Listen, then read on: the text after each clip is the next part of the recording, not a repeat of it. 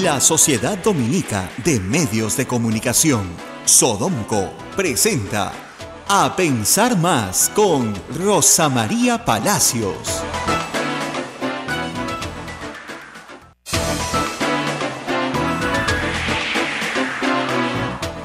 Señoras y señores, muy buenos días. Bienvenidos a Pensar Más con Rosa María Palacios a través de las emisoras de la Sociedad Dominica de Medios de Comunicación. Lima nos escucha a través de Radio Santa Rosa, Chimbote, RSD Radio Santo Domingo, Arequipa Radio San Martín, Cusco Radio Veritas, Ucayali Radio Cepagua, la Convención Radio Guiabamba, Puerto Maldonado, Radio Madre de Dios. En Huánuco nos escuchan a través de Radio Huánuco, Ayacucho Radio La Voz de Ayacucho, Puno Radio Pública, Ancash Radio Moro, Huancayo Radio Cumbre, Satipo Radio Milenio, Abancay Radio Estación Solar. Mm, el Vicariato Apostólico de Yurimaguas nos está escuchando por Radio Oriente. En Cajamarca, eh, nos escuchan por radio Los Ángeles, eh, Apumaquisterio, AM Tagua nos pone en podcast en el Perú y el mundo. También estamos en tu teléfono celular, bájanos en el aplicativo Play Store, ahí entra ahí, nos encuentras, o Tunes también me dicen, y también en nuestra página web www.radiosantarosa.com.pe. Rosa María, muy buenos días, viernes. Viernes. Nos vamos hoy, ya, listo, Sí, el programa. descansar. No, mentira, todavía vamos a estar una hora con ustedes. Eh, muy buenos días a todos nuestros oyentes aquí en todo el Perú y en el mundo entero donde nos escuchan. Pues ayer había sido un día repleto de prisiones, ¿no? Sí. Prisiones para todos son las portadas hoy día en la mayoría de los diarios. Dos casos que tienen algunas cosas en común, aunque no tantas, ¿no es cierto? Por un lado, este, tienen eh, a dos personajes políticos vinculados de manera directa o muy indirecta, si quieren, con el caso Odebrecht. Pero luego las cosas son un poco distintas, aunque el resultado sea el mismo. ¿De quién se trata? De, por supuesto, Alejandro Toledo, expresidente del Perú, y de Keiko Fujimori, candidata presidencial dos veces. El día de ayer, en ambos casos, en distintas cortes y con distintos motivos, pues eh, se ha determinado que ambos continúen en prisión, a pesar de que no tienen acusación ni condena. Eso los une también. Veamos primero el caso de Alejandro Toledo, que es muy, muy interesante porque siempre el derecho internacional comparado nos permite aprender algunas lecciones. La audiencia de ayer había sido solicitada por la defensa de Alejandro Toledo para pedirle al juez, al mismo juez, que reconsidere su posición respecto básicamente al peligro de fuga de Alejandro Toledo. La prisión de Alejandro Toledo se ha determinado en Estados Unidos porque el juez consideró en primera instancia que Alejandro Toledo podía fugarse, sustraerse la acción de la justicia y eso perjudicar las relaciones internacionales de los Estados Unidos con el Perú. Y por esa razón se consideraba que su prisión no solamente era eh, necesaria para el proceso, sino que estaba plenamente justificada de acuerdo a los intereses eh, internacionales de los Estados Unidos. Muy bien. Entonces, la defensa de Alejandro Toledo presentó varias opciones. La primera, la posibilidad de pagar una fianza hasta por un millón de dólares. La segunda, que se le pusiera un grillete electrónico que podía conseguir una ubicación más eh, rápida a través de un GPS. Sin embargo, el juez desechó estas propuestas y es interesante escuchar la racionalidad del juez. La fianza la iban a pagar básicamente eh, personas amigas de Alejandro Toledo. ¿Quiénes son estas personas? Y esto es curioso porque, aunque usted no lo crea, yo conozco a estas personas. A las 5 No, a las cinco no, a una a de una. pareja.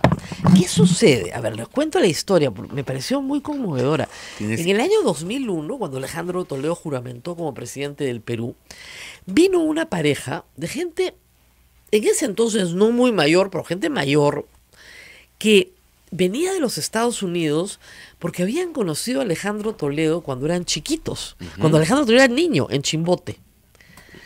Estos eran una pareja de norteamericanos que había venido al Perú con Peace Corps, los cuerpos de paz. En la época de Kennedy, a través de la Alianza por el Progreso, se promueve que jóvenes universitarios norteamericanos, pero realmente jóvenes, estamos hablando de gente de 20 a 24 años máximo, fueran en misiones de paz hacer trabajo social a las zonas más pobres de América. Y a Perú venían, obviamente, a, a barrios populares o a un lugar como Chimbote. Y por esas casualidades de la vida, esta pareja se aloja, o sea, les dan casa en la casa de los Toledo. Obviamente es un ingreso para la familia, que era una familia pobre, entonces mm, todos ganaban. Y yo entrevisté a esta pareja cuando vino al Perú a la juramentación en RPP. Y recuerdo haberles preguntado, bueno, ¿cómo era Alejandro Toledo en ese entonces? Tenía 13 o 14 años cuando ellos llegaron. Y me dijeron, era un niño que quería ganar, muy ganancioso, fue la palabra que utilizaron, la tradujeron, ¿no? Y que lo único que quería era que le enseñaran inglés. Le decía a esta pareja, enséñenme inglés. Y ellos se dieron cuenta rápidamente que era un chico que quería salir adelante. Y le enseñaron inglés. Y hoy esa es la pareja ya anciana, jubilada, que está poniendo su casa como fianza para Alejandro Toledo. A mí me partió el corazón y creo que el juez, este, no, no por Alejandro Toledo, ¿no? Sino por esta gente que Claro. realmente qué gente tan buena, ¿no? O sea, en su juventud venía en los 60 al Perú a hacer trabajo social, no haberle perdido la pista a Alejandro Toledo, haberlo ayudado, porque finalmente ellos lo ayudan irse de Chimbote, irse a estudiar a, a Estados Unidos, a California, se fue primero a San Francisco, ¿no? Recomendarlo, ¿no? Claro. Promoverlo, ¿no? Lo promovieron en Estados Unidos, me imagino. Claro, y años después venir al Perú a la juramentación de este niño al que le enseñaron a hablar inglés, ¿no? Y finalmente poner su casa para que Alejandro Toledo pueda salir en libertad. El juez fue genial porque yo creo que la buena voluntad de estas personas la tasó muy bien y le dijeron, oiga, Alejandro Toledo no se puede fugar porque estas personas perderían su casa. Y el juez le dijo, claro, ¿y qué pierde Alejandro Toledo? Alejandro Toledo no pierde nada. Estas personas son buenas personas. No cabe, no cabe duda. Y ha demostrado pues que no le interesa mucho el, el- el prójimo, ¿no? Exacto. o sea, que pierdan su casa no les va a Así es. Y dije, pobrecitos estos gringos, qué buena gente, pero realmente tienes que ser muy cambio para creerle a este Alejandro Toledo. Y son gente que no es rica, o sea, lo que está poniendo es la casa en la que vive como garantía para que Alejandro pueda poner, pueda salir. Y hay otra pareja que está haciendo creo que lo mismo. Para que salga en libertad, no para que no vaya- a juicio, ¿no? sino para que afronte su proceso en libertad. Porque con eso se demuestra que Alejandro Toledo no quiere fugar. Y el juez obviamente no se la creyó. Lo que el juez debe haber pensado es, bueno, estos señores tienen muy buena voluntad, son muy buenas personas, eh, seguramente lo conocen desde chiquito, pero a mí eso no me basta para no creer que esta pobre familia va a perder su casa Así porque este se va a mandar mudar de todas maneras. O sea, si el hombre ha pedido una coima de 30 millones de dólares, díganme ustedes, ¿no es cierto? ¿Por qué no podría engañar a esta gente de buena voluntad? Y yo creo que en protección de estas personas, justamente para protegerlas, el juez ha valorado la situación, de hecho no, no sale. Entonces es incre- increíble, ¿no? Que a mí lo que me gusta mucho del sistema de justicia en los Estados Unidos es que el juez es una persona dentro del proceso todopoderosa, de realmente, pero al mismo tiempo es una persona que exhibe criterio, sensatez, y que- Humanidad. humanidad y que, y que explica su resolución. Él dice, ya bueno, ¿y qué pierden? Ya, ellos pierden su casa, ¿y qué pierde usted? Ah, usted no pierde nada. Ah, no, pues. Así que fácil. Y esa condición pues de becario perpetuo que ha tenido toda la vida Alejandro Toledo, de que sean otros los que paguen sus cuentas, ¿no?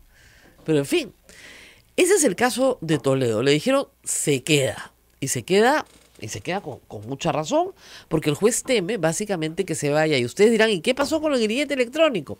Pues parece que en California, el grillete, el GPS que te pueden poner, no tiene un centro de eh, vigilancia automático.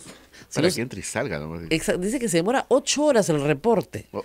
Entonces dice que en ocho horas en la bahía de San Francisco, a nado, pues ya te fuiste, ¿no? Entonces, le parece al juez que no habían las condiciones. Lo único que sí ha aceptado el juez es una nueva audiencia, en unas semanas todavía, unos Octubre. meses, octubre, en un mes, para que le cambien las condiciones carcelarias, porque eh, la prisión de Santa Rita es una prisión de alta seguridad federal. Las condiciones carcelarias son duras. O sea, lo que explicaban ayer los reporteros desde San Francisco es que no ha visto a Elian Carp en dos meses. Solo se puede reunir con su abogado, no hay visita familiar. No tampoco, no, no hay plata, no hay visita, no hay nada. Y este, en ese contexto, el juez ha aceptado una discusión para cambiar las condiciones, ¿no? O establecer condiciones carcelarias especiales para este preso dentro del mismo establecimiento, que me parece lógico, ¿no? Ahora, Toledo ya debe estar comenzando a pensar lo siguiente. Miren ustedes, porque este es un hombre pragmático ¿ah? y siempre lo ha mantenido otro. Entonces ha dicho, esta cárcel está horrible, me tengo que vestir de naranja, esto es espantoso. Muy bien. Mi mujer tiene ataques este, de furia, ¿no? La tienen que retirar. Y la verdad es que el penal que me toca en Lima, ¿cuál es? La de que es simpatiquísimo. Tiene jardincito, te dan un departamento completo, ¿no? Tienes este instalaciones bastante cómodas. eh, Inclusive visitas dominicales. las que dominicales y es más, si quieres puedes decir no quiero ya seguir recibiendo gente, ¿no? Por favor, quiero ser un preso feliz, ¿no? Tiene, tiene una huertita donde puede practicar. No creo que Toledo le guste mucho la huertita, pero digamos, tienes todas las comodidades. Puedes tomar clases de pintura, puedes tomar clases de canto. Sí. ¿No es cierto? Este, tiene un médico permanente, las Permanente. 24 horas del día, que le va a tomar la presión todas las veces que quiera. Visita. Entonces, entre Santa Rita y las Diroes, pucha, yo me acojo en el acto a la extradición y solicito por favor que me extraditen.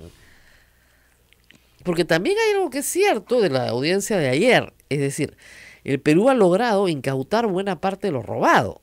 O sea, se ha congelado lo de Coteva en Costa Rica, Maiman no ha seguido mandando, Maiman tiene que devolver al Perú también. Entonces, se les acabó el botín. Ayer alegaban que eh, vivían de un préstamo de la madre de la señora Carp, pobre la madre de la señora Carp, la verdad, pobre señora. Este, pero el juez le dicen, oiga, ustedes pagan un alquiler de 6.400 dólares, ¿de dónde lo pagan? ¿Mensuales? Ups, eh, de- no, ¿cómo haríamos? Entonces creo que lo más probable es que regresen al Perú. Ahora, que Lean Carp regrese al Perú está bien No difícil creo. porque ella obviamente está complicada, es parte de, de esta operación criminal de sobornos. Eh, está, miren, en el tema de la compra de las casas, el, el testimonio del corredor para mí era contundente. La que estaba comprando la casa era ella, ella. Y no la estaba comprando para su madre, como uno podría decir, bueno, estaba buscando una casa para su mamá. No, jamás fue un requerimiento que, que tuviera un solo piso, que no tuviera escalera. No, no, no, no, no, esos no eran los requerimientos, ¿ok?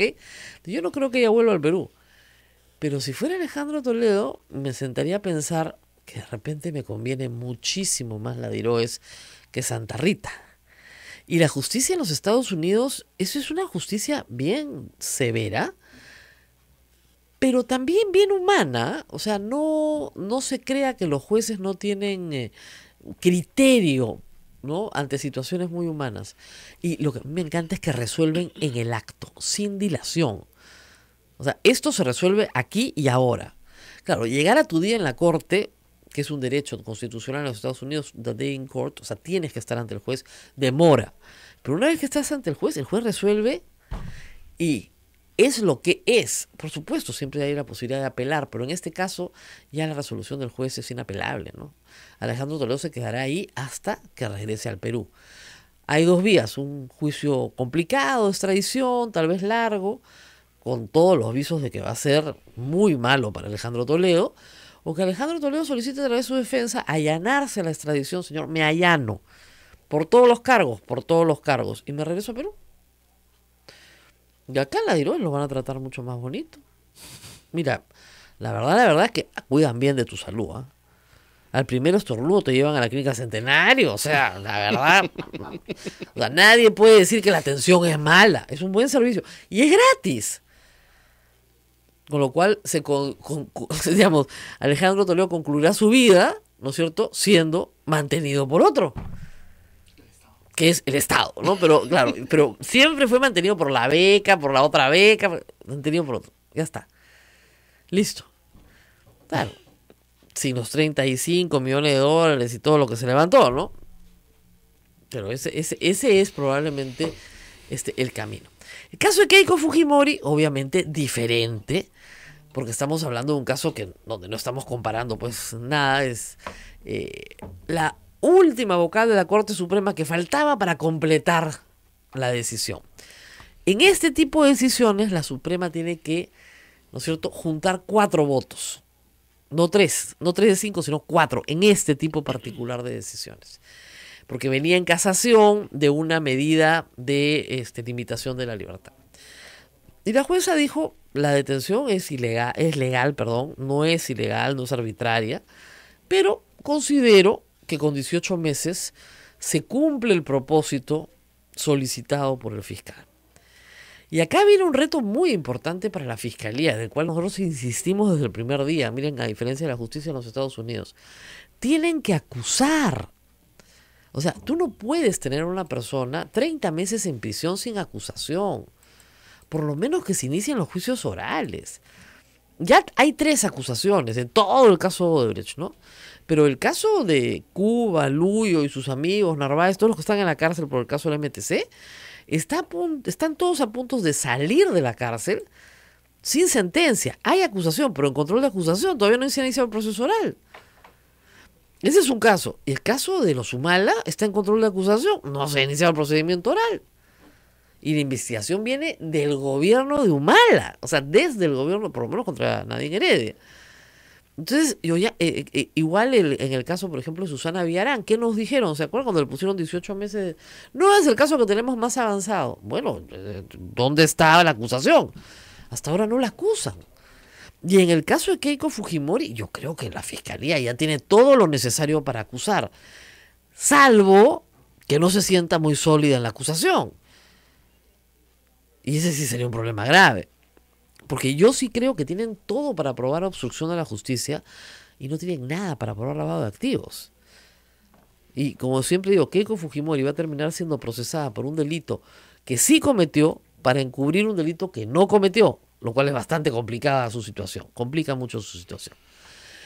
Ya está con nosotros Carlos Rivera del IDL, la pestilencia, es decir, han estado, pero, ¿no? No son, no son muchos, pero son, ¿no? Este, esta semana IDL ha estado en este en la bronca ya callejera, en la puerta del juzgado, pues, como dice el doctor, eso es lo mínimo. ¿ah?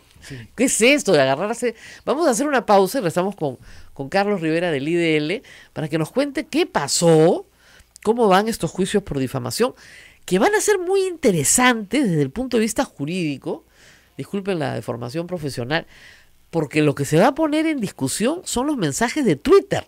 Así es. Y esto no ha pasado nunca en el Perú en un juzgado. Va a sentar jurisprudencia. Entonces, todos los tuiteros tenemos que estar pues ciertamente interesados y me imagino que algunos preocupados. Vamos a la pausa y volvemos. Sodomco, Sociedad Dominica de Medios de Comunicación. Continuamos con A Pensar Más a través de las emisoras de la Sociedad Dominica de Medios de Comunicación. Rosa María conversa con el doctor Carlos Rivera, abogado de IDL. Bueno, como ustedes saben, esta semana, y primero vamos al asunto de fondo, después al anecdótico, eh, el IDL ha llevado al ex vocal supremo, Javier Villastrein, a un juicio por difamación. Porque en efecto, el señor Wittstein ha afirmado a través de la red social Twitter varias cosas eh, sobre el IDL, por ejemplo, que son una organización criminal, entre otras cosas por el estilo.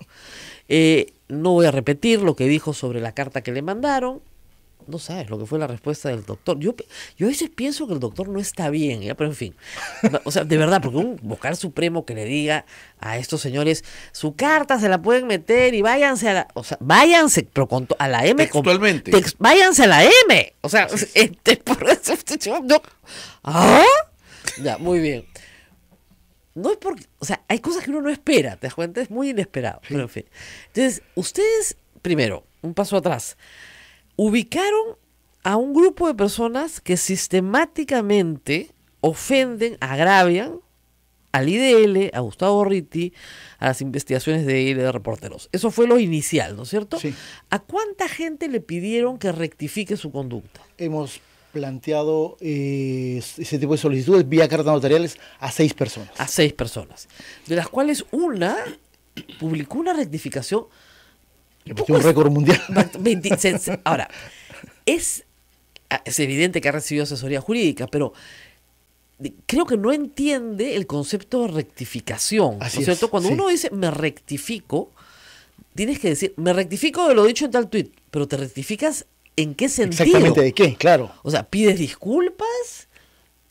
En realidad capaz ahí inclusive la propia ley no tiene el mejor término. No. En realidad debería ser una retractación. ¿no es cierto? Exactamente. Porque rectificación es cambiar un dato por otro. Exacto. Porque hay un error, equivocación y cuando yo, enseño, a... yo enseño eso en la, en la universidad, le digo a los chicos, ojo, cuando agravias tienes que disculparte. Cuando das información inexacta, tienes que rectificar. Porque dijiste, por ejemplo, no sé, el IDL que opera en sus oficinas en Miami, ¿no? No, Así señor, es. operamos en San Isidro. Ah, perdón, San Isidro, rectifico. Sí. Entonces ahí rectificas el dato. Exactamente. ¿no? Exactamente. por más peyorativo que pueda ser el dato, no, no son pitucos, no, no, pero rectificas el, el- el dato. En cambio, en el otro es, son una organización criminal, no hay nada que rectificar porque es ofensivo. Obviamente. Bueno, ¿qué van a hacer con el caso del señor Miklos Lucas? Mira, y hemos tomado una decisión de cerrar el tema porque en Ya. realidad este tampoco nos es nuestro ánimo estar este litigando Litigando. eternamente y frente a todo. Y en el caso de Micros Lukács, una persona particularmente ofensiva con Gustavo Gorriti, con mi persona, con el IDL en general, se rectificó porque me parece que él entendemos, porque su mamá nos respondió una carta notarial de que domicilia en Londres, Ajá. me parece que evaluó de que una acción legal en la que evidentemente él iba a perder, le iba a ser absolutamente perjudicial. ¿no? Ahora hay que ver que no reincida, ¿no? Obviamente, obviamente se ha tomado también la decisión de que la primera reincidencia, digamos, ya no va a haber ninguna carta notarial, sino una acción judicial inmediata. La segunda persona fue el excongresista y líder aprista Luis González Posada, que recordarás. Mandó una carta también muy extraña. Sí, sí, ante Diciendo- nuestro pedido de que, oiga, le dijimos, este. Llamó usted asesino, asesino a Gustavo Riti y a Pedro y Cateriano. a Pedro Cateriano hizo que eran los, los asesinos de Alan Que García. habían disparado la bala. O Que sea, dijo, dijo, ellos dio detalles técnicos de cómo Claro, uno ellos muere. han disparado la bala. Entonces, no sé, y él ha dicho, no, no, no, no, no. Mi lenguaje es figurativo. Sí, periodístico. Periodístico y figurativo. Entonces yo te puedo insultar figurativamente. Sí. Esa es una nueva forma de insulto. ¿ya? Yo te insulto figurativamente. Bueno, ¿qué van a hacer con González Cruzado? Mira, ahí vamos a cerrar porque también él continuó en su carta, dijo, oye, si ustedes Si quieren satisfacciones, se las eh, otorgo. También Ya, nos pareció que Ya. lo que correspondía era cerrar el tema. Y hay un periodista de Arequipa, Pedro Urbina, particularmente ofensivo y difamatorio con Gustavo Gorriti, también la- al momento de recibir la carta notarial ha eliminado su cuenta de Facebook, este, Ya. todo ese tipo de información. ¿no? Ah, eliminó todo. Todo, todo, todo. Ya. Y nos Van hemos tres. quedado con eh, Javier Villestein, que es el que nos mandó a rodar al- al- Sí. el- la tarde que recibió nuestra carta notarial, eh, con una persona de nombre Jenny Zúñiga Mourao, que dice ser periodista, pero en realidad no sé si lo es, este, y un señor Juan José eh, Muñico González, que alias Maelo. alias J. Maelo, que todo indica es como que el líder de este grupo llamado La Resistencia. Muy bien. ¿no? ¿Y estos Sobre tres? ellos hay acciones judiciales. Muy bien. Y estos tres ya están judicializados. están judicializados. Y claro, como eh, la primera acción legal que presentamos fue contra Javier Villestein, es la primera que ha sido programada en, en términos de la audiencia de presentación de cargos que tuvimos el día lunes. ¿no? Y, y en esta audiencia se presentó también la defensa de Biestein. Se presentó eh, él y dijo que iba a hacer su autodefensa. Muy bien. No es un buen consejo, ¿ah? Nunca, Nunca. nunca, nunca. no, nunca. no es un buen consejo, pero sabes que siempre dicen, pues el, el, el abogado que se defiende a sí mismo tiene por cliente a un tonto. ¿Ah? Sí, sí. Y mira, ahí, ahí lo que te podría comentar en realidad me sorprendió, pensé que iba a llegar un abogado, digamos, este, Ah, externo, bueno, pero como tú sabes, no es una buena eh, estrategia autodefenderse. Tengo una experiencia en la Corte Suprema y siempre he visto a veces a un Javier Villesen aplomado y siempre bajo la eh, manejando las circunstancias, ¿no? Bueno, en este caso sí me sorprendió un Villesen no solamente desencajado, muy nervioso, este, hasta en signos bastante este, ¿Ah, sí? objetivos, ¿no es cierto? Sumamente desordenado y sin argumentos. En realidad, el único argumento de cerca de 30 minutos que dio su perorata Ajá. fue de que él no podía responsabilizarse por dichos de terceros. Pues eso sí es verdad. Lo que pasa es que él los retuitea. Pues Sí, claro. él, no escribe directamente, sino retu- retuitea lo que otros dicen. Pero lo que otros dicen es completamente ofensivo. Exactamente. Ya, pero hay que decirlo bien. Y ahí- es que ahí- estás ahí- difundiendo ofensas. Es- como si hicieras, le hicieras a alguien de una cuenta falsa, de una cuenta troll. Ya, tú escribes las, las cochinadas y yo las re Sí, envío sí, sí, a todo el mundo. Y de hecho, nosotros hemos acreditado, porque hemos hecho un cuadro de cuál es la fuente, cuál es el mensaje, la hora, el día, ¿no es cierto? Y hemos presentado alrededor de, en tres meses, 60 mensajes difamatorios. Casi todos tienen organización criminal, este gorrito y gorriti HDP, corruptos, banda de delincuentes. Sí, porque además el, lenguaje del, del, del, del ex vocal supremo suele tener muchas groserías. O sea, es No, un lenguaje bastante extraño para un... Por eso, ya, o sea, todas las groserías que te aprendiste en el patio del recreo en primaria, ya, toditas. Sí, toditas, sí, de sí. patio del recreo. de- Y lo otro que hemos demostrado, Rosa María, este, es la circunstancia de que casi la totalidad de cuentas de las cuales retuitea es cuentas que tienen 5, 10, 15, 20 seguidores. Que son- Y por lo tanto, la exposición pública del mensaje difamatorio es a través de la cuenta de Javier Villestein, que tiene más de 30 mil seguidores. Claro. No solamente eso, además él la- le expone en entrevistas, en, en conferencias, por lo tanto, lo que nosotros hemos sostenido frente a la juez es de que él, digamos, no hay duda alguna cuando tú pones la cara de gorrita y dices que es el jefe de una organización criminal, o mi cara y dices que soy un terrorista indultado, Sí, y sí, todas sí. las difamaciones sobre nuestra institución, digamos, no puedes decir que hay ahí un traslado de una información. Más aún si la fuente, él mismo lo admitió, no sabe quiénes son. Ah, ya. Este, y dice que cuando la jueza le preguntó, oiga, ¿y usted para qué retuitea? Además, un paréntesis, Rosa María, un poco preocupante, la jueza admitió no saber cuál es el funcionamiento del Twitter. Ya. Y una tanto, clase, no una saber- clase rápida. Yo le enseño, es facilísimo. tanto, no saber qué significa el retuiteo.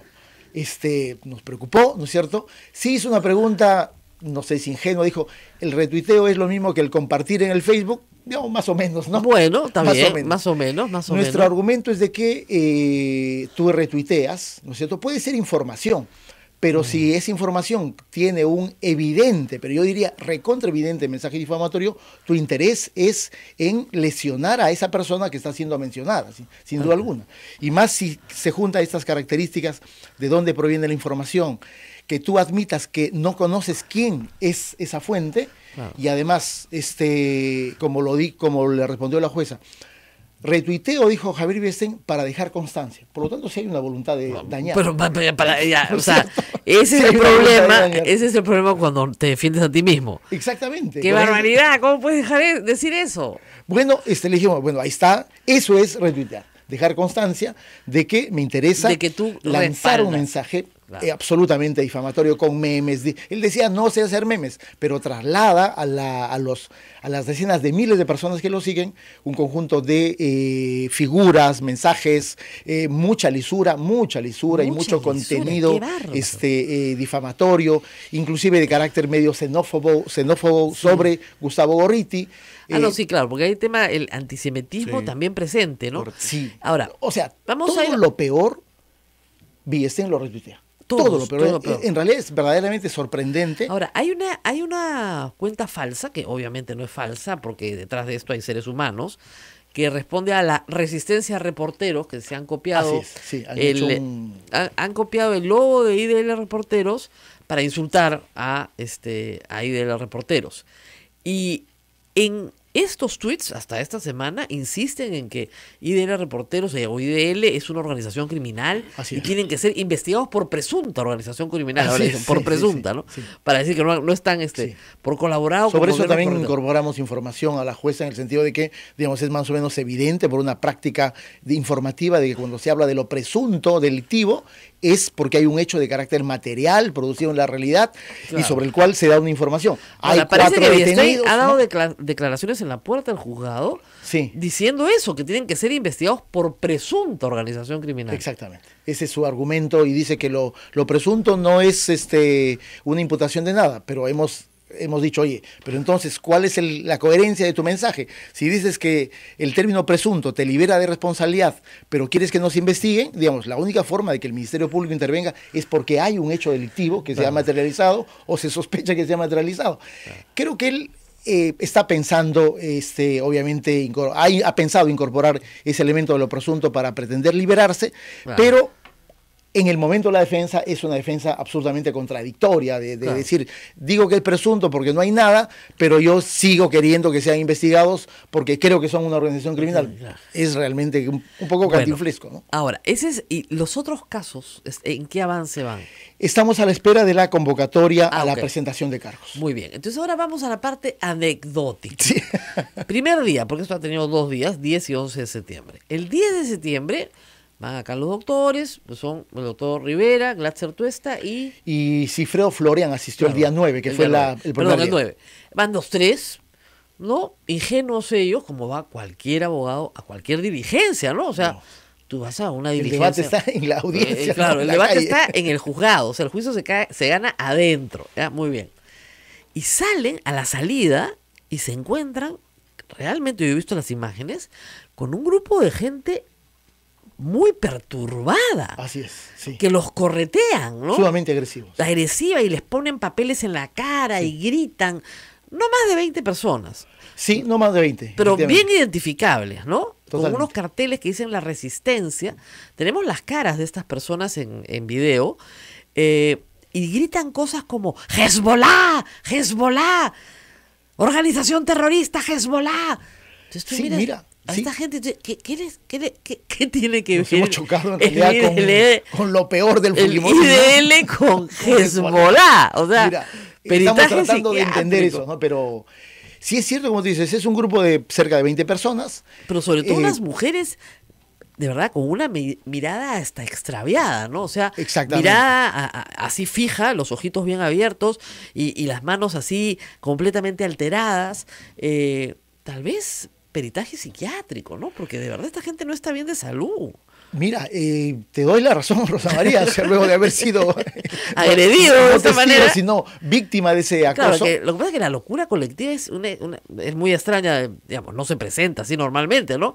Pero estamos hablando de gente muy enloquecida. Totalmente, totalmente.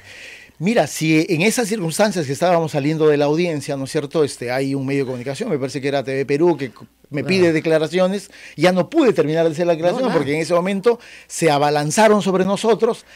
Creo que si no hubiese habido los elementos de la policía que estaban en ese momento, obviamente hubiésemos sido atacados. No ¿Querían cabe ninguna golpearlos? duda. Sí, sí, Ah, sin ninguna buscaban duda. golpearlos. Por supuesto. Físicamente, por supuesto la agresión sí. era Sí, física. Sí, sí, Y por eso es que con la policía decidimos, este, digamos, salir de ese lugar Claro. porque no había ningún tipo de seguridad y la policía nos va acompañando por el, el, este trecho que hay de la Avenida Arenales hasta la calle 2 de Mayo Claro. y durante toda esa cuadra 2 de la Avenida ¿Y 2 de contra Mayo, ¿no? estas personas van a establecer algún tipo de Hemos acción? presentado el día de ayer ya una denuncia penal por acoso, ¿no? Por acoso. Exactamente. Por acoso físico. Sí, por acoso físico, claro, claro, Claro, claro. Este, porque en realidad las, las evidencias, fotos, videos, este, no muestran otra cosa que no sea eso. O sea, nadie podría alegar que eso es libertad de expresión. No es necesario que tú le grites en la cara, lo insultes a una persona para, para dar tu idea. Claro. La podrías exponer de mil formas, no de esa manera, ¿no? Claro, dicen, dicen este, cosas como IDL, Soros te financia con Trump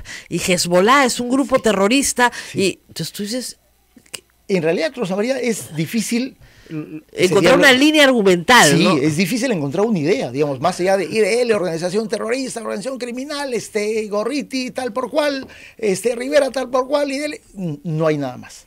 Pero, l- de hecho, hay una preparación, ¿no? Hemos identificado que Sí. este, este muñico es, primero, el que convoca días antes. No, y dos, además que es antes. apadrinado, hemos visto el video públicamente Por por, Rosa Bartra. por Rosa Bartra, Sí, sin duda la alguna. señora constitucionalista, Sí. ¿no es cierto? Apadrina a una, no es de risa, pero es de terror, apadrina a un grupo de personas que se paran en la puerta del juzgado a pegarle a los abogados. Sí, sí, efectivamente. Él convoca, además... Valiente Estado de Derecho. Además, en los dos mensajes de la convocatoria, este, él dice día y hora por interno, ¿no es cierto? Y por lo tanto, el hecho de que vayan pues, prevenidos de un equipo sonido, altoparlantes, sean las mismas personas, te das cuenta de que hay un grupo que más o menos está medianamente organizado y que está planificando este hecho delictivo abiertamente. Ya el día de ayer hemos presentado una, una denuncia en ese sentido. Ahora, al día siguiente fueron de nuevo. Fueron de nuevo porque, digamos, obviamente Villestein les informa y les dice, oye, mañana vengan, ¿no es cierto? Claro. Este... Sí, porque además decían, es- yo estoy con Stein, hicieron un hashtag. Sí, ¿ya? yo apoyo a Entonces, Stein. Yo apoyo a. Pero un señor que había dicho que se vayan a se vayan ahí mismo, ¿eh? Sí. Entonces, este, y, y ahí, ahí en el segundo día, bueno, hay mucha fotografía que ustedes han tomado el día 10 también. Sí, ustedes fueron con un grupo de gente del IDL. Sí, hemos ido ya con un grupo más numeroso el IDL, digamos, no ha... Y, y estos no han cruzado la pista, se pusieron al frente. Ahí hubo una mejor predisposición de, digamos, este, las medidas de seguridad por parte de la policía, ¿no? Claro. Este, ya no permitieron que ellos se paren literalmente en la puerta de, Del acceso al juzgado de la sede de Alimar, los colocaron en, el- en la acera de enfrente, ya ellos, ellos eran menos que el día anterior, pero las mismas personas que más o menos están presentes y que además, Rosa María, ya han estado presentes dos veces en nuestras oficinas, tanto en julio como en mes, Claro, mes de no, no, esto es acoso, o sea, esto es una, Exactamente. es Eh, una, es eso una- hemos dado cuenta en el- en claro, la fiscalía, es ¿no? una conducta recurrente, digamos, sí. no es un eh, episodio eh, fruto, claro, de la pasión del momento. Ustedes saben que cuando los abogados, como se dice, se injurian mutuamente, este, en el curso del proceso, no es delito, pues. Las ofensas recíprocas, en el Código Penal específicamente, Te llaman al orden. Dice, señor, por favor, no, pero no te pueden procesar por eso. No, esto no es una cosa así espontánea. Sin duda alguna. No, no, no lo es. Ellos Eh, convocan, Mael, este, Mael o Muñico convoca, la audiencia era el día lunes 9 y él convoca el sábado 7 por la noche. claro. Y luego tienen acá, este, tweets, los estoy leyendo, ¿no? Dicen que los agredimos físicamente, al contrario. ¿no? Otra vez los defensores de terroristas dicen que los agredimos. Pucha, si, si tú estás redactando eso, ¿no? Ustedes No hay pueden- forma de- no hay forma de dialogar, Va- ¿no va- va- No hay forma mal. de dialogar. Ahora, esto significa cambiar la lógica, ¿no? Porque durante, mira, durante muchísimos años, yo estoy en el Twitter del 2010, son nueve años, yo he recibido toda clase de insultos, pero toda clase, pero, pero, pero toda clase de insultos. también particularmente, Ya, Yo normalmente eh, agraviantes, blo- ¿no? bloqueo, pues normalmente, ¿no? Pero a veces una vez al día digo, oh, pues cuando estoy viniendo para acá, ¿no? Ese mo- Se levantaron temprano los troncos, chancha asquerosa, ¿no? Esas cosas todos los, todos los días, pues es normal, en mi vida eso es normal. Y iniciar un proceso, ¿no? Siempre es pesado, ¿para qué, no? No piensa, pues, pobres diablos, ¿ya qué vas a hacer, no? Pero esto es interesante, porque es la primera vez que se va sí, a hacer. Sí, sí, efe- efectivamente. Antes de presentar la querella, justamente buscamos, inclusive en la región, Ya. este, jurisprudencia que tenga que ver con algún tipo de pronunciamiento judicial sobre el manejo De redes En términos difamatorios de las redes sociales. Ajá. No lo encontramos. No hay. No hay, no hay. O sea, es un asunto muy reciente. Hay algunos informes de la Comisión Interamericana, específicamente de la Relatoría por la Libertad de Expresión, que tratan de ingresar al tema del eh, mundo del Internet. Claro. Pero no hay todavía decisiones judiciales a las cuales hayan podido acceder en términos, porque probablemente no existe, en términos de cómo se considera, por ejemplo, el- este tema del retuiteo, ¿no es cierto? Claro. Claro, cuando tú, tú eres el, el que lanza el mensaje, como en el caso de Muñico, como en el caso de Zúñiga, ya hay una versión mucho más este, cercana a, los, a la información que se traslada a través de los medios de comunicación tradicionales. Yo soy el autor del mensaje, Ajá. ¿no es cierto? Pero cuando hay el tema del retuiteo o el compartir en el Facebook, ¿cómo se tiene, cómo tiene que ser asumido? Y ahí, ahí lo que hemos, le hemos dicho a los jueces es que puede ser asumido de dos maneras. Uno, cuando tú trasladas una información de una fuente conocida y de una información que puede ser mínimamente verificada. Tú dices, oye, eh, hay un dato que un medio de comunicación publica y te interesa esa noticia y lo retuiteas. Pero cuando proviene un mensaje abiertamente difamatorio, gorrite HDP, organización criminal, nido de ratas, banda criminal, Nido de ratas. y además, el segundo elemento, no sabes quién lo escribe. Claro. ¿No es cierto? Porque es palomita, H no tanto, el Claro, número tanto. 423 53, Ve- claro. Verificas, tiene, eh, es evidente un troll, tiene 5, 10, 15 seguidores, ¿no es cierto? Y tú decides lanzar ese mensaje y tú sabes que tu cuenta de seguidores es absolutamente abultada, en el caso de Biesten tiene más de Claro. 30 mil, por lo tanto, como lo hemos dicho a la jueza, nosotros como IDL hemos tomado conocimiento de ese mensaje difamatorio a través de la cuenta del señor Biesten. Claro. ¿no es cierto? Y la difusión que exponencialmente le puede dar una cuenta con tantos miles de seguidores. ¿no? Este. Por lo tanto, tú puedes argumentar, oye, yo no soy responsable por hechos delictivos de tercero, lo cual es un principio, ¿no es cierto?, en el derecho, el derecho penal, o es que tú efectivamente, además con el agregado Rosa María, que Villestein no puede decir que es un ciudadano de a pie, ¿no es cierto? Eh, que- claro. ¿no? Obviamente, digamos, él es un profesor de Derecho Penal, tiene libros de Derecho Penal, ha sido presidente del Poder Judicial, presidente de la Sala Penal Permanente de la Suprema, por lo tanto, él sí puede discernir perfectamente cuándo hay un mensaje difamatorio y cuándo no lo hay.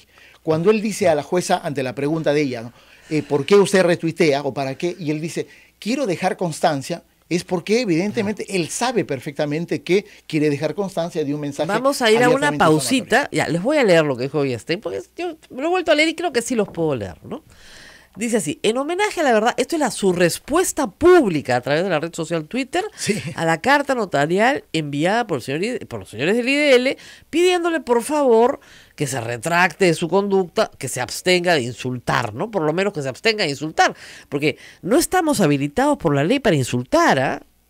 O sea, ojo, hay gente que dice, pero es mi libertad de expresión. No, no es tu libertad Ese es de expresión. tema muy importante. No es También tu- lo pusimos en el debate. Claro, ¿no? eso no es libertad de expresión. O sea, yo dicto ética en comunicaciones, primera clase es libertad de expresión y segunda clase derecho al honor. Porque hay que explicar al periodista que no tiene derecho a insultar. ¿Y qué cosa es el insulto? ¿Qué, ¿Cuáles son los límites? ¿No es cierto? Y sobre eso sí hay jurisprudencia abundante. Y hay que decir una cosa interesante. Usted sí tiene mucha experiencia, pero en el otro lado de la ecuación. Sí, sí, sí, efectivamente. Ustedes han defendido periodistas muchas veces. Exactamente. Perseguidos con casos de difamación. Estamos defendiendo todavía varios, A varios periodistas. Oscar García, Edmundo Cruz, Claro. querellados por publicar investigaciones. Claro. ¿No es cierto? Publicar investigaciones. Ahora es, ahora es el otro lado de la ecuación. Nos- nosotros somos los difamados Así es. por un grupo de personas que en el fondo es lo mismo. No quieren que se investigue la corrupción. Sí, Ese es el tema. sí, el, el- el punto de origen del primer tuit de Biesten del 15 de mayo es el contexto en el que IDL Reporteros llevaba, eh, digamos, el liderazgo de las investigaciones, las publicaciones, las revelaciones. De la partir- el año pasado. Exactamente. A partir de ese momento aparece Biesten. O sea, a, a Biesten lo hemos literalmente desconocido desde el momento que, que salió de juez supremo. En fin, estaba, sabíamos que estaba haciendo su actividad privada y no hemos tenido ningún tipo de enfrentamiento, comentario, porque en realidad no está haciendo nada, que valga la pena comentar. ¿no Bueno, es cierto? en homenaje a la verdad, dice el señor Villestein, estas son las palabras textuales del señor Javier Villestein. Reciben una carta notarial indicándole pues que modifique su conducta, que es lo que se solicita, que rectifique, etcétera, y dice, en homenaje a la verdad, me importa una buena mierda la querella del IDL en mi contra. Sin embargo, no retuiteen esto, porfa, no sea que descubran lo insignificantes que los conceptuó y que los desprecio sin más. Para mí, unos pobres diablos, vividores del gobierno de turno. Este señor ha sido presidente del Poder Judicial. Exacto. Eso hay que remarcarlo. Hay que remarcarlo. O sea, ha sido presidente del Poder Judicial Vocal Supremo titular. ¿Qué tal? Sí. ¿Qué tal? La gente pregunta dónde enseña para no matricular a sus hijos. Es profesor principal de la Universidad Nacional Mayor de San Marcos. Dios mío. Dios mío. Mira la. Sí, sí, sí, sí, sí. Y dijo que ganaba 7 mil soles en San Marcos. Oh, su- me importa una buena mierda. Ahora, ese es, ese es el tuit de Rosa María, el más reciente. El más reciente, 29 de agosto. Nos da la impresión que cuando Mikos Lucas retrocede, se, re- se rectifica o retracta, nos parece que hay gente que le comenta y le dice, oye, ¿por qué tú no haces lo mismo? Porque en realidad no había, no hay ningún debate, no ha habido ninguna respuesta de nada de parte nuestra. Y creo que ese tuit es ante ese tipo de comentarios, nos da la impresión. Claro. Porque su, su respuesta original, cuando nosotros le mandamos la carta, es mucho peor, porque dice, estos que dicen ser defensores de derechos humanos, o sea, unos angelitos, igual que Odebrecht, Villarán y Toledo.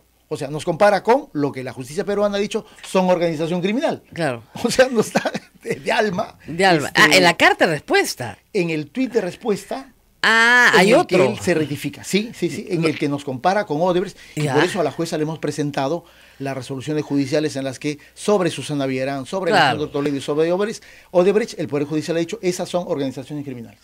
Qué increíble. Bueno, vamos a la pausa y regresamos con más. ¿ah? Nadie se mueve, esto está bien interesante. Regresamos. Sodomco, Sociedad Dominica de Medios de Comunicación. Continuamos con A Pensar Más a través de las emisoras de la Sociedad Dominica de Medios de Comunicación. Rosa María está conversando con el doctor Carlos Rivera, abogado de ITL. Claro.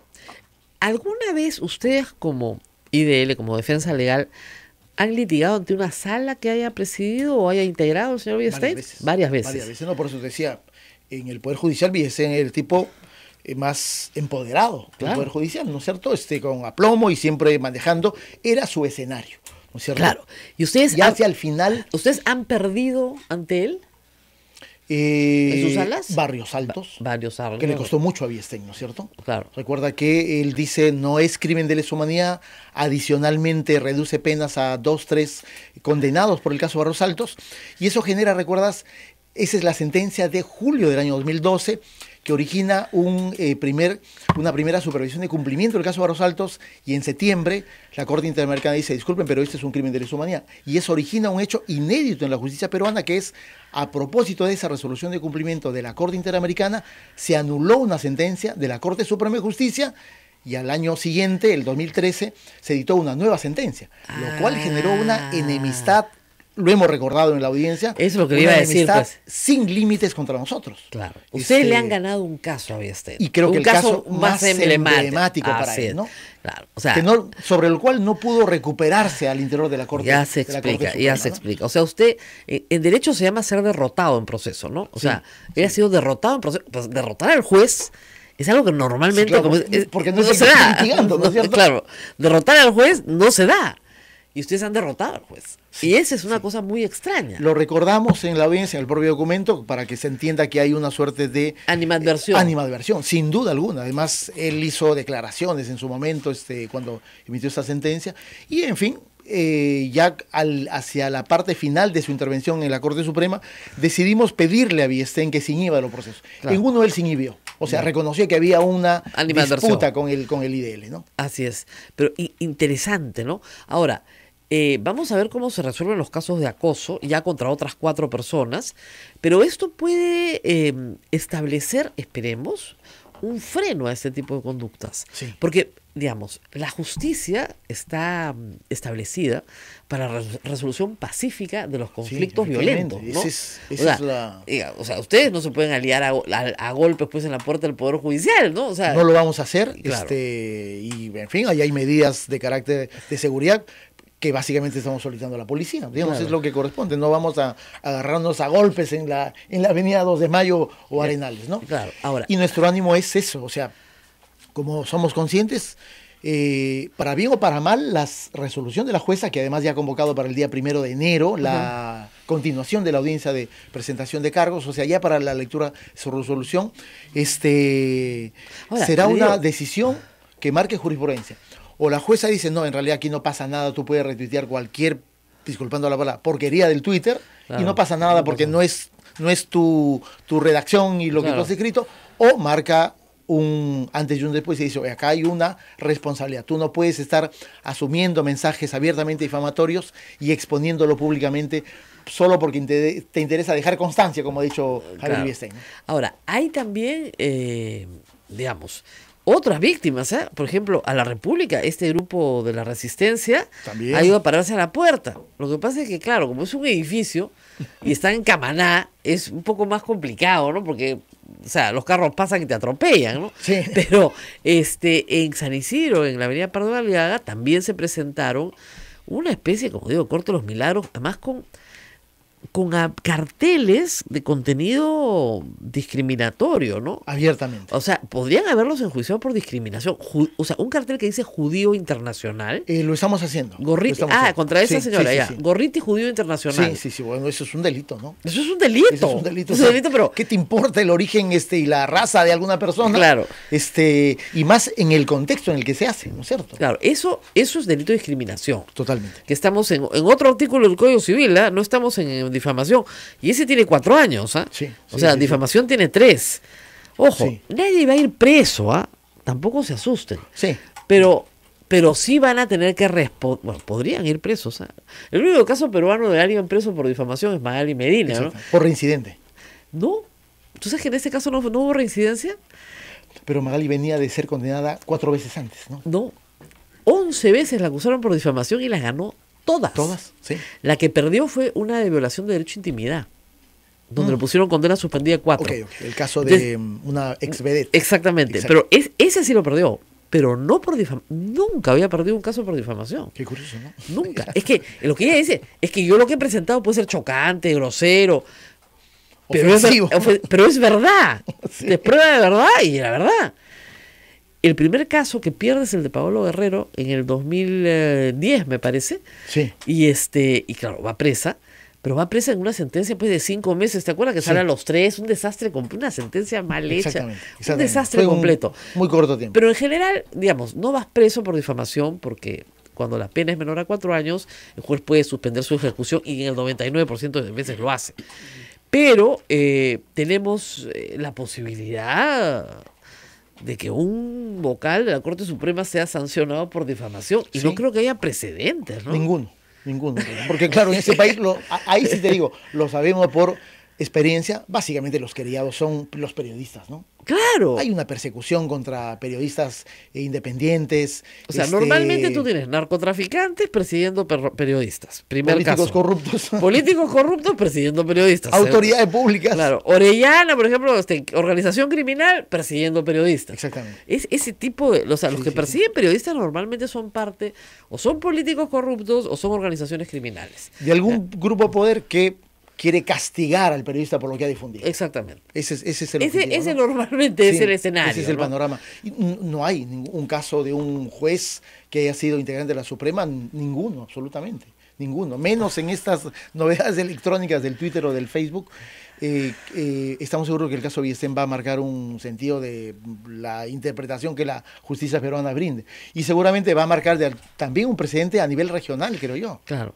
Ahora, interesante también para los usuarios de Twitter, ¿no?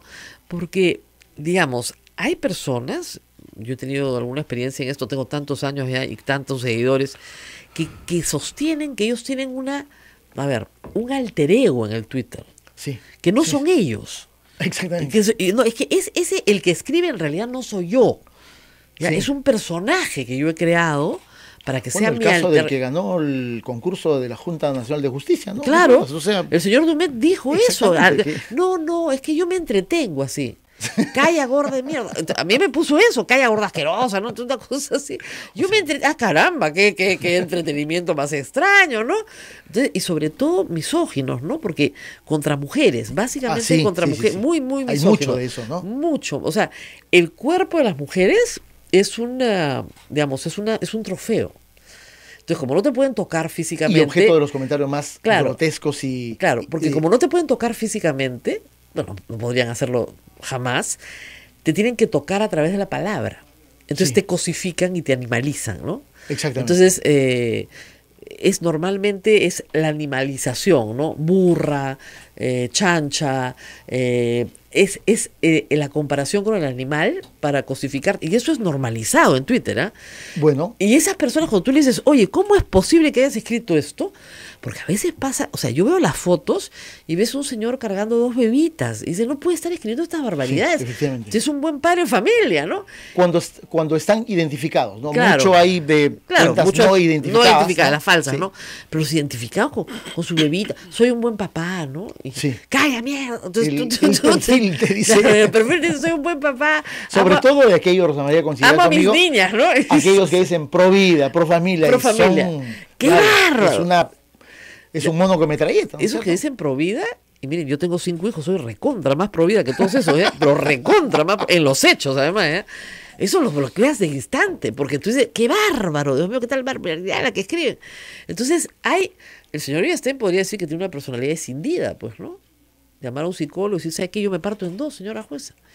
Cuando estoy delante de esto, siento que, que soy muy libre, ¿no? Entonces digo cualquier cosa. extremadamente libre. Extremadamente libre. Entonces, yo eh, doy rienda suelta a mi ferocidad interior, ¿no?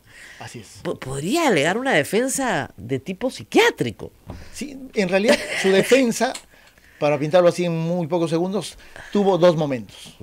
Los dos primeros minutos que dijo que eran este que él, conociendo derecho penal, sabe que no puede responsabilizarse por los dichos de terceros y los hechos por terceros, con lo cual coincido. Todos coincidimos Y en luego un larguísimo, una larguísima perorata en la que habló de cualquier cosa, el caso Pedro Salinas, Paulo Ugaz, este, mencionó a César Romero como respaldo de, sus, eh, de su libertad de expresión, No. este, no se cansó de sacar titulares del diario Expreso como argumento, habló del caso El Frontón, la jueza dejó de escribir en algún momento, muy tempranamente en su alegato, eh, Claro, lo miro y de quién está hablando. eh, cuál era el siguiente punto del argumento no soy responsable por dicho de terceros, ¿no? Claro. No entendí cuál era el, el siguiente punto, ¿no? Este, ya, ahí, ahí terminó. Ahí terminó. Ahora, no va a haber ninguna otra audiencia. Mira, a ver, ayer nos ha llegado esta notificación para la continuación de la audiencia de presentación de cargos, ¿no es cierto? Nos queda una duda. Nos informaron el día 10, cuando se suspendió la- esta segunda parte de la audiencia, de que la promoción de la jueza ah, se había, eh, culminaba el día de hoy. y que Ah. supuestamente el lunes iba a estar de, de retorno a su despacho. Ahora, el que nos ha hecho llegar la notificación es el juez, digamos, sustituto, que es el señor Romaní. Este, vamos a verificar el día lunes si es que el permiso de la señora, de la promoción de la jueza titular continúa. Este, y si es que la audiencia del primero de octubre la va a realizar el señor Romaní. Lo Con que lo no cual- puede ocurrir bajo ninguna circunstancia es que el juez Romaní, que no ha escrito la resolución, él la lea. Porque en realidad ahí sí este, sería una cosa irregular. Claro. Un juez que no escribe una resolución no puede hacerse responsable por algo que no ha hecho. Lógico. Si ese fuese el caso, tendríamos que pedir que se haga de nuevo la audiencia Lógico. ante otro juez. Ante otro juez. Qué pesado. Bueno, espero que no les tiren piedras, no los persigan Ojalá en la próxima audiencia. Es verdad, además, hay que decirlo que el señor Bidestein tiene que haber informado de su citación. No hay forma, porque la not- notificación es personal, que la resistencia se entere en la puerta del 2 de Sí, mayo. sí, sí. Entonces, hay una coordinación entre el señor Hay un Bidestein. video en el cual lo invitan a una conferencia y él finaliza y dice, yo me siento parte de la resistencia. ¿no? Perfecto. Bueno, ¿Está bien? que asuma la que asuma la responsabilidad. No hay Nos ningún problema. Nos recuerdan que también lo- le pasó a Indira eso frente al Congreso. Ah, también. Sí. Y Alberto Y- y Belaúnde. Alberto Belaúnde. Alberto y Alberto también. Pero Alberto lo manejó muy bien, porque con, con lógica política dijo, estas personas están esperando que yo pierda los papeles, que les di muy, muy tranquilo, los miró, sonrió, siguió caminando y ya está. A pesar de que estas personas lo perseguían de una manera sumamente hostil. Bueno, algún día llegarán acá a la puerta de Radio Santa Rosa, pero salimos todos los dominicos vestidos de dominicos. Créanme que van a salir corriendo. Muy bien, nos vamos porque hoy día tenemos la misa del Señor de la Justicia, al que le tenemos que rezar mucho en el Perú. Y eh, como ustedes saben, ya PayPal, PayPal, este, nosotros vivimos de la caridad pública, así que colaboren con nosotros a través de PayPal en la página web de Radio Santa Rosa. Entran ustedes a la página, ponen así clic y nos ponen la platita, pues, pues si no, no llegamos a fin de mes. Ya, ya no llegamos, ya. Estamos a 13 y no, no, no damos. Muy bien. Feliz fin de semana. Feliz Nos fin de semana. gracias, nos vemos, nos vemos. Adiós. Chao, chao.